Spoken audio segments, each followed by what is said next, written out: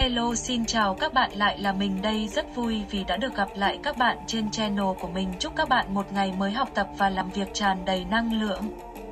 Ok, hôm nay mình sẽ vẽ nhân vật lữ bố trong Record of Ragnarok cho các bạn xem nhé. Hôm nay mình vẽ nó cứ chua chua thế nào đó các bạn. Lý do là vì cái bộ tóc của nhân vật đó mà rõ ràng là đã học cách để tô đậm nhạt rồi ấy vậy mà lúc cầm bút tô thì ố rồi ôi luôn. Tô xong mà nhìn cứ kỳ kỳ nên mình quyết định tô đen hết luôn cho lẹ ha ha, mốt chắc phải học kỹ lại cái cách tô đậm nhạt mới được chứ cứ vẽ sai giết như vậy thì đậu xanh cay thật sự. Trong lúc vẽ thì các bạn có để ý thấy cái dòng chữ Hán đẹp đẹp được tha thu trên người nhân vật không? Thật ra thì mình cũng chẳng biết ý nghĩa của nó là gì đâu nhưng không sao với cái suy luận nhạy bén của mình thì chắc ý nghĩa là hãy nhấn đăng ký kênh cho Hồng Phúc đó mà. Mặc dù hôm nay không thuận lợi lắm, nhưng cuối cùng thì mình cũng hoàn thành được thử thách vẽ nhân vật lữ bố rồi đó mà các bạn xem video rồi cho mình ý kiến nhé. Ok, chúc các bạn xem video vui vẻ.